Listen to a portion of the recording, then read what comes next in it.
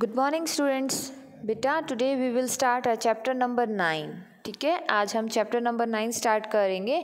Air and atmosphere today we will read about air and atmosphere तो बेटा what is air जो हवा होती है, आपको पता है ना वो किस लिए, क्या उसकी इम्पोर्टेंस है?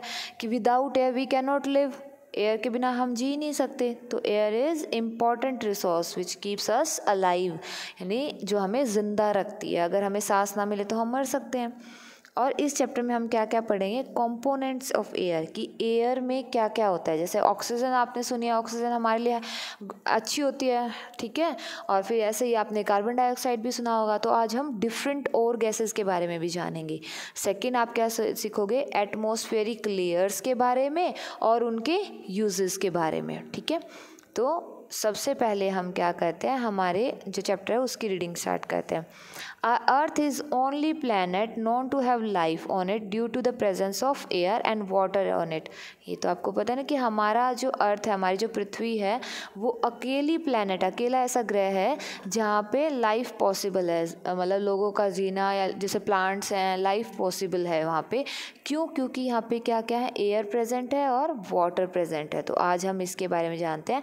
About the air and its components air और उसके कंपोनेंट्स के बारे में जानते हैं। ठीक है?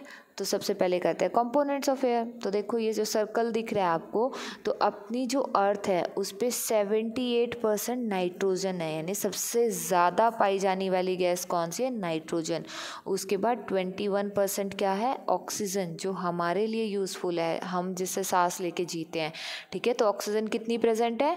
Twenty one percent water vapours and जो कार्बन डाइऑक्साइड है, वो कितनी प्रेजेंट है? वन परसेंट और कुछ और जो गैसेज हैं, उनके ट्रेसेस मतलब थोड़ी थोड़ी गैसेज और भी पाई जाती हैं। तो आज हम उनके बारे में पढ़ते हैं। अब एयर क्या है? आप ये ध्यान से देखो। Air is mixture of many gases air क्या है? बहुत सारी गैसेस के मिक्सचर है। अभी जैसे हमने सर्कल में पढ़ा कि क्या क्या है एयर के अंदर? कंपोजिशन पढ़ा ना? Nitrogen oxygen water vapour carbon dioxide और अदर गैसेस तो वो हम यहाँ पे देखते हैं। It contains almost seventy eight percent nitrogen air में कितनी परसेंट नाइट्रोजन होती है? Seventy eight percent and about twenty one percent oxygen और ट्वेंटी वन परसेंट क्या है? Oxygen the remaining one percent अब जो सेवेंटी एट और ट्वेंटी वन जब आप ऐड करोगे तो नाइन्टी नाइन परसेंट हो जाता है। तो 99 परसेंट में तो आपको नाइट्रोजन एंड ऑक्सीजन मिल जाती है। अब जो वन परसेंट बच गया, उसमें आपको कौन कौन सी गैसेस मिलते हैं? कार्बन डाइऑक्साइड ओजोन आर्गन इसके साथ साथ आपको वाटर वेपर और डस्ट पार्टिकल भी मिलते हैं। ठीक है? अब आता है oxygen oxygen is needed by plants and animals. Oxygen की ज़रूरत किसको पड़ती है? प्लांट्स और एनिमल्स को। और ऑक्सीजन क्या करती है? इसके साथ सपोर्ट्स, बर्निंग। किसी चीज़ को जलाते हैं तो उसको जलाने के लिए भी ऑक्सीजन की रिक्वायरमेंट होती है। Nitrogen present in the air controls burning. जो नाइट्रोजन एयर में प्रेजेंट होती है, वो बर्निंग को कंट्रोल करती है और ऑक्सीजन क्या करती है? उसको सपोर्ट करती है। मतलब जलने में हेल्प करती है। किसी चीज़ को जलाने के लिए ऑक्सीजन चाहिए होती है हमें। अब देखो if there was no nitrogen अब हमने कहा कि जो नाइट्रोजन है वो बर्निंग को कंट्रोल करती है। तो अब देखो क्या होता है कि अगर बर्निंग को कंट्रोल करती है, यानी क्या कहना चाह रहे हैं ये चैप्टर में, वो समझते हैं कि अगर एयर में नाइट्रोजन होती ही नहीं तो जो स्मॉल फायर्स हैं छोटी छोटी जो आग लग जाती हैं कुड बिकम बिग वंस बड़ी बन सकती थी एंड वुड बी अनस्टॉपेबल और उसको रोका नहीं जा सकता। मतलब आग, अगर नाइट्रोजन होती ही नहीं हमारे एटमोसफेयर में तो अगर छोटी सी आप तिल्ली भी जलाते हो, माचिस की तिल्ली जलाते हो ना तो वो तिल्ली भी इतनी ज़्यादा भड़क जाती कि बहुत ज़्यादा आग बढ़ जाती उससे। Plants absorb carbon dioxide to prepare their food by the process of photosynthesis अब प्लांट्स क्या करते हैं? कार्बन डाइऑक्साइड एब्जॉर्व करके अपना फ़ूड बनाते हैं, कौन सी प्रोसेस से? फोटोसिंथेसिस से। अब आर्गन भी जो एक गैस का नाम हमने पढ़ा था तो वो आर्गन कहाँ मिलती है आपको? कहाँ यूज़ आती है वो देखते हैं। Argon is a gas which is present in very small amount. हमारे जो एटमोसफेयर में बहुत कम अमाउंट में आपको कौन सी गैस मिलती है? आर्गन। और ये कहाँ यूज़ की जाती है? And is mainly use in light bulbs and tubelight. जो आपके घरों में लाइट बल्ब्स एंड ट्यूबलाइट्स लगे होते हैं ना, उनके अंदर आर्गन गैस मिलती है आपको। Water is present in the air as water vapours और वाटर प्रेजेंट होता है कैसे? वाटर वेपर्स के फॉर्म में। तो अब आपको समझ में आया क्या क्या है कंपोनेंट्स ऑफ़ एयर में? नाइट्रोजन 78 परसेंट ऑक्सीजन 21 परसेंट जो बाकी गैसेस है वो वन परसेंट ही हैं। अब उनमें जो ऑक्सीजन है वो प्लांट्स और एनिमल्स की रिक्वायरमेंट होती है और जो नाइट्रोज ऑक्सीजन है बर्निंग को सपोर्ट करती है नाइट्रोजन कंट्रोल करती है बर्निंग को। अगर नाइट्रोजन ना होती तो जो आग है वो भड़क जाती, बहुत ज़्यादा हो जाती। प्लांट्स जो कार्बन डाइऑक्साइड है, उसको एब्जॉर्व करके अपना खाना बनाते हैं फोटोसिंथेसिस प्रोसेस से। वहीं आर्गन के बारे में हमने क्या पढ़ा था कि बहुत थोड़ी अमाउंट में अवेलेबल है और कहाँ मिलती है आपको, ये कहाँ यूज़ की जाती है लाइट बल्ब और ट्यूबलाइट्स में। अब पढ़ते हैं प्रॉपर्टीज़ ऑफ़ एयर कि एयर की प्रॉपर्टी क्या है? प्रॉपर्टी क्या होता है? जैसे किसी प्रॉपर्टीज़ जब आप पढ़ते हो किसी चीज़ के बारे में तो उसकी अच्छाइयाँ, उसकी विशेषताएँ, ये आपकी सारी प्रॉपर्टीज़ में आती हैं। तो क्या है? पहली चीज़ तो हमने अभी तक पढ़ी कि air is made up of particles of different gases air अलग अलग गैसेस से मिलके बनी है। उसके बाद air is a gas state of matter हमने मैटर के स्टेट्स पढ़े ना सॉलिड लिक्विड एंड गैस तो एयर कौन सा स्टेट है? गैसियस स्टेट है. और एयर की खुद स्पेशल प्रॉपर्टीज़ भी हैं. तो आज हम उसके बारे में पढ़ते हैं. पहली प्रॉपर्टी हम क्या पढ़ेंगे? कि एयर हैज़ वेट हवा में वज़न भी होता है. अब वो कैसे पता चला? कि आप एक डीफ्लेटेड फुटबॉल डीफ्लेटेड फुटबॉल क्या होती है?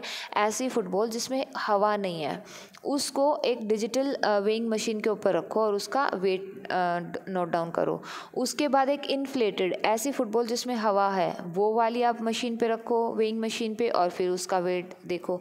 आप क्या देखोगे? दोनों के ही वेट में डिफरेंस आएगा। जैसे देखो यहाँ पे इस फिगर में दिखाया गया है, ठीक है? दोनों, यहाँ पे आपको डिफ्लेटेड दी है जिसमें हवा नहीं है बिल्कुल भी और यहाँ पे जिसमें हवा भरी हुई है इन्फ्लेटेड फुटबॉल रखी गई है।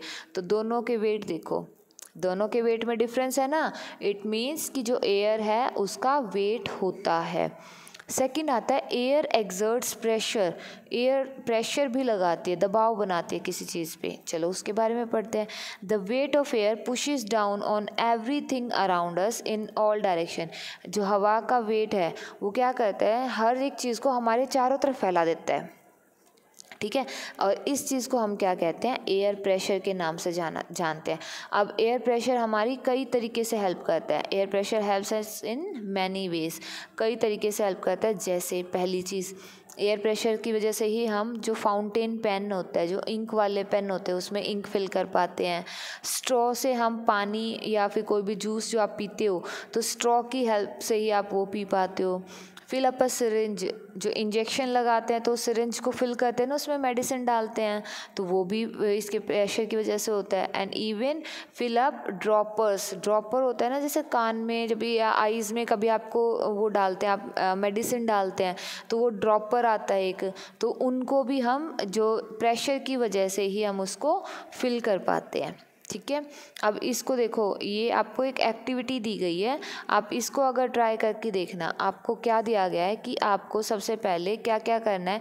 स्ट्रॉ लेना है और जूस लेना है, ठीक है? जब ग्लास में आप स्ट्रॉ डालो और उसके बाद थोड़ा सा जूस पियो आप स्ट्रॉ के हेल्प से। क्या आप कर पा रहे हो? तो पी पाओगे ना जब थोड़ा सा जब सक करोगे।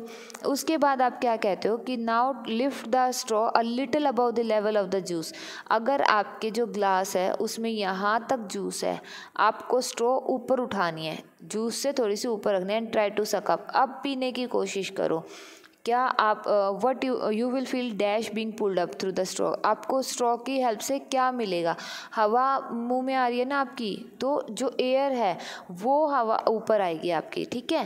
हवा ही ले पाएँगे क्योंकि जूस तो आ ही नहीं पाएगा ना आपको। तो ये क्या है कि जो एयर है, वो प्रेशर डालती है। एंड जब आप ब्लो भी करेंगे, कभी आपने स्ट्रॉ को मुँह में लेके एंड जब आप पानी में ब्लो करते हैं, फूक मारते हैं तो आपने देखा होगा ना, वो लहरें सी बन जाती हैं उसमें। तो वो किसकी वजह से है कि एयर एग्जर्ट्स प्रेशर वो प्रेशर ही तो शो हो रहा है ना आपका।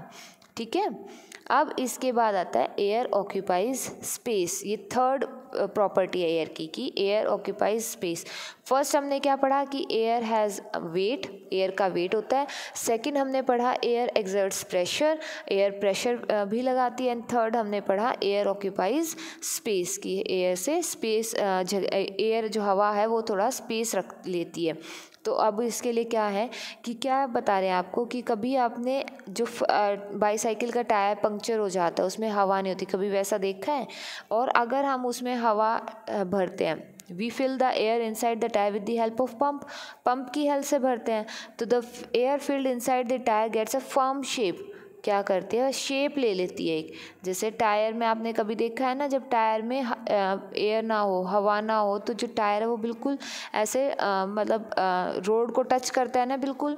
और अगर एयर होती है तो थोड़ा सा आपको फूला हुआ दिखेगा ऊँचा उठा सा दिखेगा। तो वो क्या है उसने उसको क्या दिया है शेप दिया है ठीक है? एयर शेप भी मतलब लेती है। स्पेस लेती है उस जगह पर उस ट्यूब के अंदर एयर जा, जाएगी तो वो ट्यूब भर जाती है ना। इसका दूसरा एग्ज़ाम्पल बेटा देखो जो ईजी है, वो क्या है? कभी बलून लेके देखो। आप बलून को जब उसमें फूक मारते हो तो बलून फूलना स्टार्ट होता है, ठीक है? तो वो क्या कर रहा है, वहाँ पे एयर उस बलून के अंदर जगह ले रही है स्पेस ऑक्यूपाई कर रही है, तभी तो वो बलून स्ट्रेच हो रहा है ना? तो वो क्या बताता है कि एयर ऑक्यूपाइज स्पेस अब बेटा, इसके साथ जो आपकी टाइम प्लीज़ एक्सरसाइज है, ये आपको करनी है, ठीक है? जैसे नाइट्रोजन। नाइट्रोजन क्या है? हमारे एटमॉस्फेयर में सबसे ज़्यादा पाई जाने वाली गैस है ना? तो क्या लिखेंगे? Most abundant gas in the air तो नाइट्रोजन का ही हो जाएगा। ऑक्सीजन ऑक्सीजन क्या है? हमारे लिए सर्वाइवल के लिए इंपॉर्टेंट है। Survival of human beings and animals carbon dioxide किसमें काम आती है? फोटोसिंथेसिस में।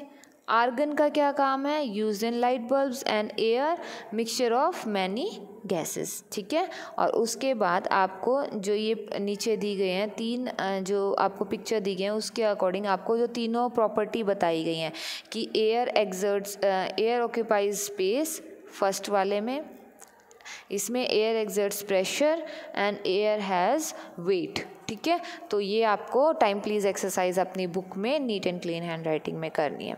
ओके बेटा. Thank you